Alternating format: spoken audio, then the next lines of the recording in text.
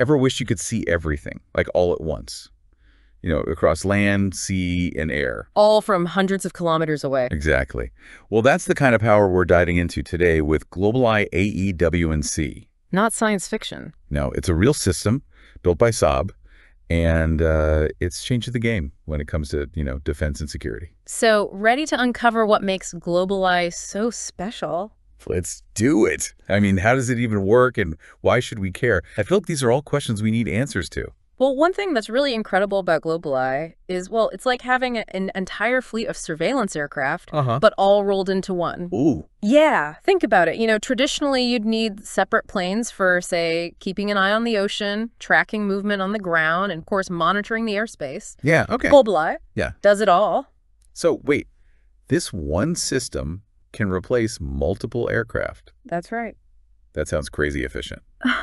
But how? Hmm. What makes it such a, uh, what do they call it? A force multiplier. Yeah, force multiplier. So imagine like a coastal security scenario. Okay. With GlobalEye, you can monitor shipping lanes for, say, smuggling, Yeah. track vehicles along the coastline that look suspicious. At the same time. Yeah, and even keep an eye on the airspace for any potential threats. And you're doing all of that with just a single aircraft. So compared to like using multiple aircraft, you're saving a lot of resources, A massive amount in Yeah. terms of resources, yeah, and manpower. Huge difference. That's a really good example. yeah. Really puts it into perspective. And speaking of uh, amazing tech, can we talk about this Erieye ER radar? Sure. Because I read that it can detect objects, okay, as small as a periscope, Yeah, from a submarine hundreds of kilometers away. that's right. How is that even possible? So the key here is something called AESA radar, active electronically scanned array. But think of it this way. Imagine you're, I don't know, searching for something in the dark. Okay. Now, a traditional radar, that's like using a lantern.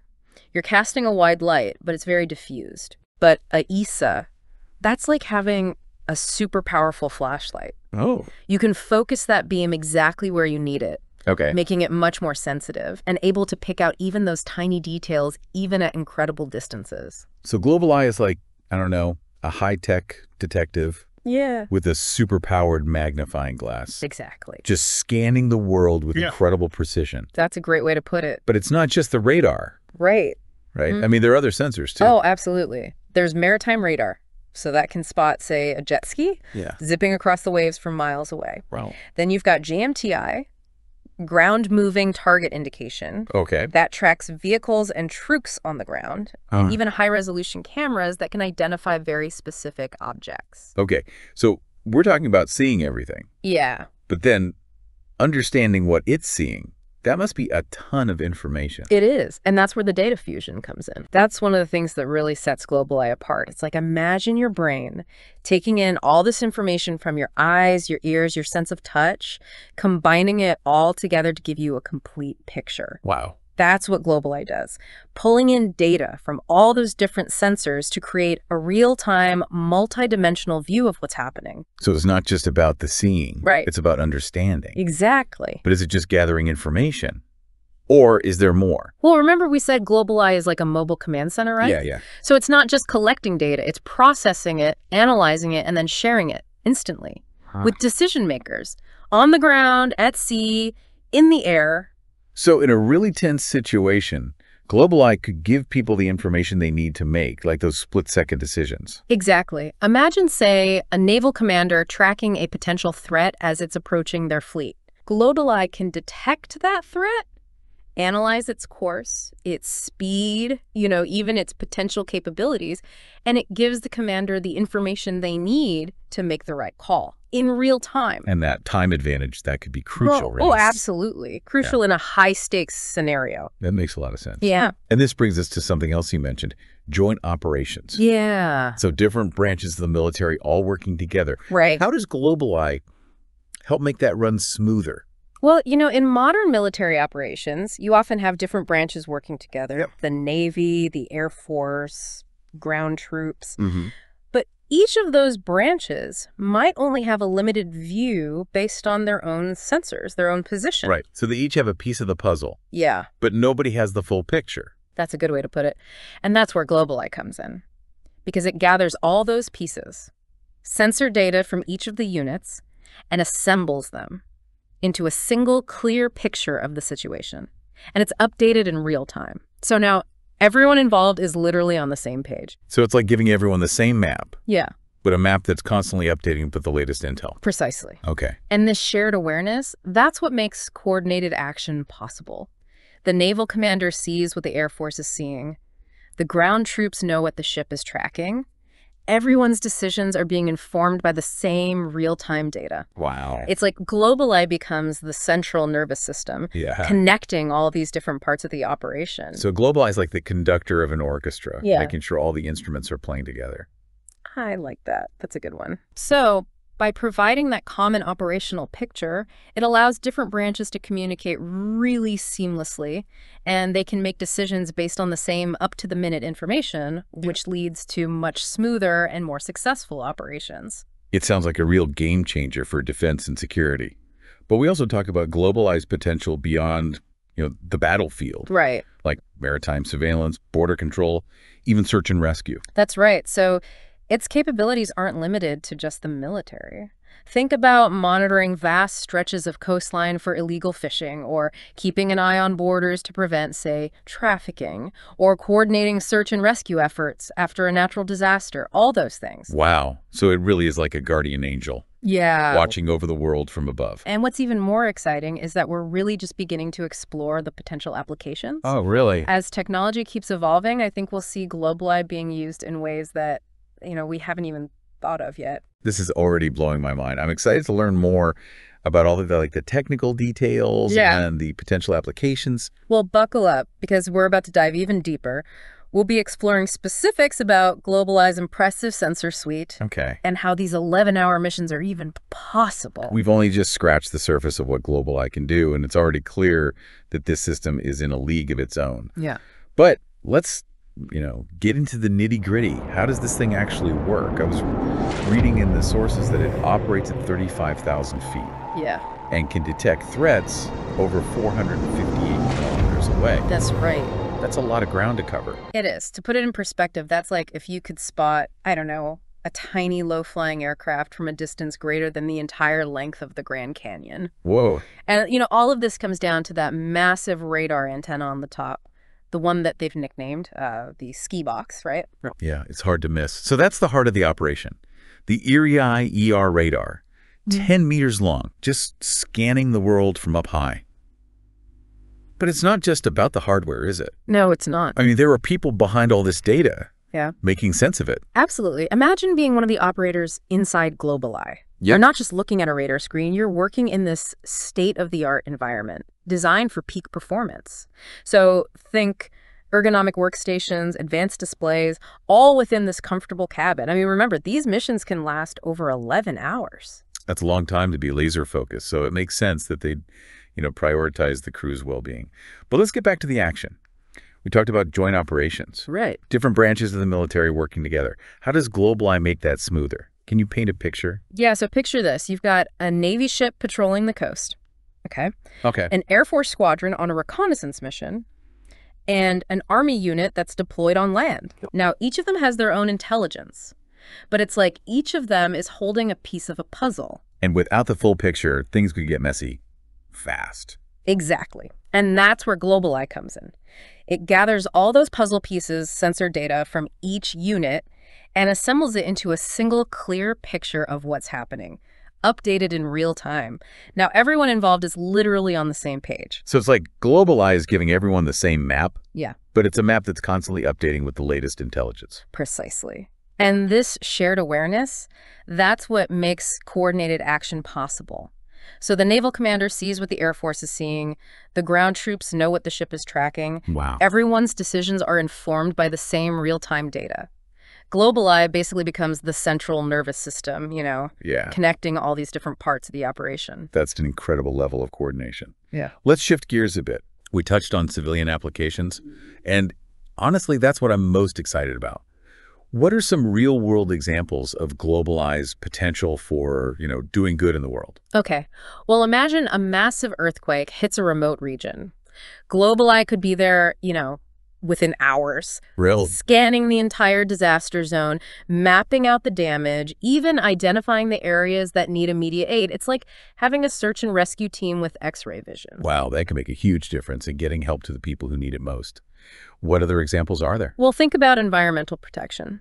GlobalEye could be used to track illegal fishing activity across, you know, vast stretches of ocean. Yeah. Or to monitor deforestation happening deep within a rainforest. I mean, its long-range sensors and ability to stay airborne for hours on end makes it perfect for these kind of, you know, large-scale monitoring tasks. So it really is like a guardian angel kind Yeah. of watching over us from above. Right. But even with, you know, the best intentions, there's always the question of responsibility. Right. Powerful tools, they require careful handling. Right. What are some of the ethical concerns surrounding a system like GlobalEye? That's a really crucial question, and it's one we can't shy away from. Any technology capable of such, you know, extensive surveillance, it definitely raises concerns about privacy and the potential for misuse. GlobalEye can see a lot, Mm-hmm. and that data needs to be handled responsibly. It's like that old saying, with great power comes great responsibility. Exactly. How do we ensure that GlobalEye is used for good and not for harm? Well, I think transparency is key. So there need to be very clear guidelines for how and when GlobalEye can be used, you know, in both military and civilian contexts. And I think open communication about its capabilities, its limitations, and how the data is being used, all of that can help build trust and alleviate some of those concerns. So it's not just about the technology. Right, It's about the human element, about setting ethical boundaries and using that power responsibly. exactly. And this conversation needs to be ongoing. I mean, as technology evolves, so do the ethical questions surrounding it. And it's our responsibility to keep asking those tough questions and to make sure these powerful tools are being used to, you know, better humanity. This discussion has given me a lot to think about, and I'm sure our listeners are feeling the same way. But we're not done yet. We've explored the present of GlobalEye, but what about its future? That's where things get really interesting. In our final segment, we're going to delve into the trends that are shaping the future of airborne surveillance. So we'll talk about drones, AI, and more, and we'll discuss how global GlobalEye might evolve within that landscape, so don't go anywhere. So we've seen how global GlobalEye is already changing things, you know, right now. But what about the future? What's coming up next for airborne surveillance? Well, there are a few really major trends, you know, kind of shaping the future of how we monitor the world from above. And GlobalEye is right there at the forefront. So we're seeing this huge demand for real-time information. Uh-huh. the rise of, you know, drones, of course, Yeah. and the growing influence of artificial intelligence. All of these are playing a huge role. Okay, so let's break those down one by one. Yeah. You mentioned the demand for real-time intel. Yeah. Why is that so important these days, Mm-hmm. especially when it comes to security? Well, think about it. Threats these days, they can pop up, well, anywhere, anytime. Right. And that old way of gathering information, you know, analyzing it later, that just doesn't cut it. Decision makers, they need to see a clear picture of what's happening right now Yeah. in order to respond effectively. So it's not just about seeing, it's about understanding the situation as it's developing Right. and being able to make a decision, you know, right away. in the moment exactly and that's one of the you know key advantages GlobalEye has because its advanced sensors and data fusion capabilities they provide that instant awareness which gives commanders first responders you know whoever the information they need to make the right call Makes sense. Now, what about drones?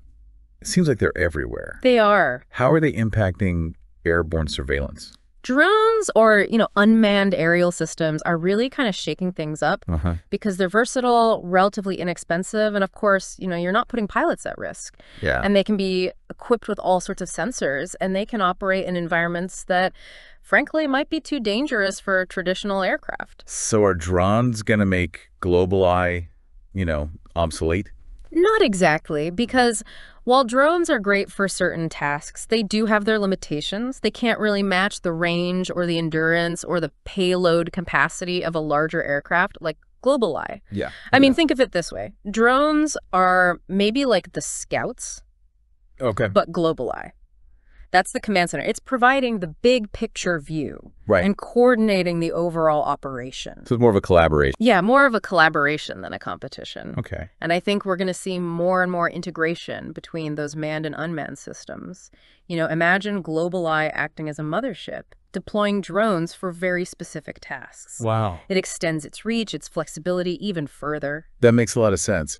Now, artificial intelligence, how is that changing the game when it comes to understanding all this data? Well, AI is becoming essential for dealing with the just massive volume of information that these systems are generating. Imagine AI algorithms just sifting through mountains of sensor data in Yeah. real time, flagging potential threats, you know, identifying patterns that, frankly, human analysts might miss. It's like having this superpowered assistant working alongside the operators, helping them make faster and more informed decisions. So GlobalEye could become even more powerful. Oh, absolutely. AI could take its capabilities to a whole other level, you know, mm-hmm. allowing it to detect threats that are even more subtle, to maybe even predict problems before they even arise, and to just provide much deeper insights to decision makers. That's incredible. But as we've talked about, you know, with great power comes great responsibility. Yeah. How do we make sure that all of these advancements, especially with AI, are used ethically, mm. responsibly?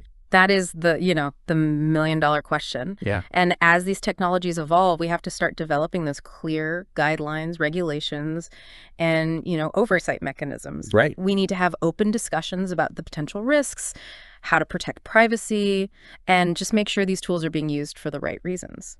It's a challenge, but one we can't ignore. We can't. It's like, you know, we're writing the rule book for this whole new era of surveillance, and we need to make sure that those rules reflect our values. Well said. So as we wrap up this deep dive into GlobalEye, Yeah, I want to encourage all of you listening to keep thinking about these issues. right. Because the future of airborne surveillance, well, it's not set in stone. It's being shaped by all the choices that we make, you know, today. So stay informed, ask questions, and make your voice heard. Really well said. It's been a fascinating journey exploring this, you know, uh, this groundbreaking technology. And who knows what amazing developments are, you know, right around the corner. But one thing's for sure the sky